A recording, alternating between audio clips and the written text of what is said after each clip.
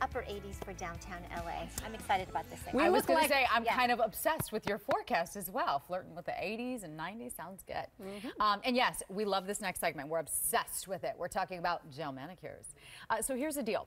Most salons have an unlimited amount of gel colors to choose from, right? So that's the cool thing about getting gel. Most ladies love this kind of manicure because, as you know, if you've had it, the polish lasts longer. There's no chipping. Uh, there's really no breaking either. But it does require that you put your hands your hands under the. UV light. Yeah, like like so. Uh, so many are weary that it can cause skin damage or maybe even skin cancer. Some may even be very sensitive to the UV light. So we are obsessed with these things. For that reason, these are these really cool gloves designed to protect your hands from the UV rays. And Megan, you already had the opportunity to try these out. So how did it go? Oh, Okay, These are first your of all, hands. I love you, Rita, because I said I was going to get a manicure. You're like, before you go, you get the gel. I'm giving you these. I Yes. went.